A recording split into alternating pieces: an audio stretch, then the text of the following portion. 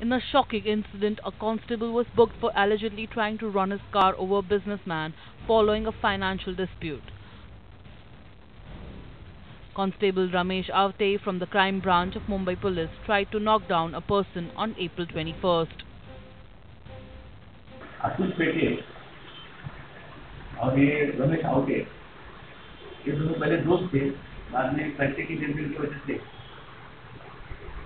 उनमें आपस में झगड़े होने लगे इसके बारे में यहाँ पर एनसी कंप्लेंट रजिस्टर की गई है नौपाड़ा पुलिस में इसके बावजूद ये जो रमेश आवटे है उसको गाली देके घूमता था उसके पीछे जाता था जहाँ जाएगा उधर उसको गाली देता था